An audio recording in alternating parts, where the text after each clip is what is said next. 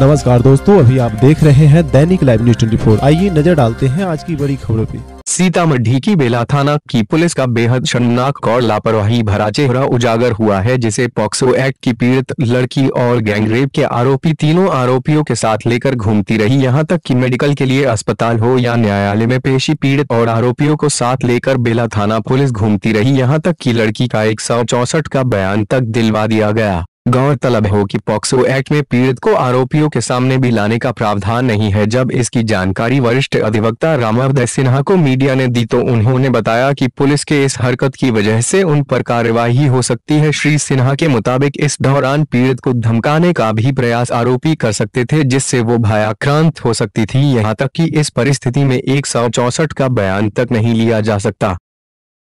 परिसर में बेला पुलिस के द्वारा पीड़िता और अभियुक्त को पॉक्सो एक्ट में एक साथ लाया गया है, जिससे पॉक्सो एक्ट का सरासर उल्लंघन है चूँकि पीड़िता के आइडेंटिफिकेशन डिस्क्लोज नहीं होना चाहिए।